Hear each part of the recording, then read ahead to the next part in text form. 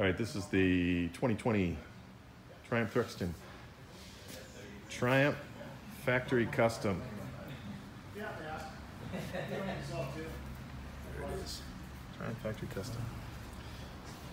This is number number 80 of 750. I want number one, John.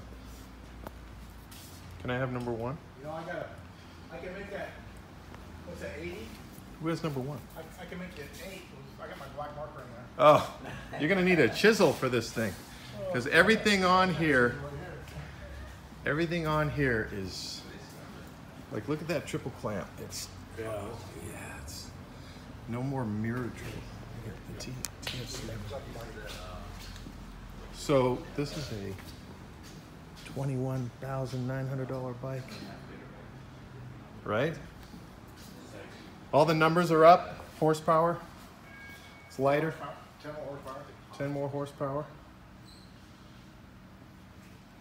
Parallel twin 1200. And it's pretty. Let's see, I can't really film much from this angle because it's tucked in the corner, but blacked out wheels. Carbon fiber.